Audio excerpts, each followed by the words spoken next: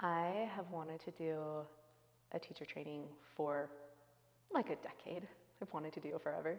Um, and it was just trying to find a place that like lined up with scheduling honestly and then like the kind of like yoga philosophy that resonated with me um, and that happened here so the scheduling here was actually made it really really easy to like incorporate it into my life um, and then i love mountain yoga i love the philosophy here i love how they teach here and so i was really excited that logistically it worked out to do it here because i love this place and it has a hot room so I love hot yoga. There's not a lot of places that do a hot yoga teacher training, and this is it. So if you like the hot room, this is your place.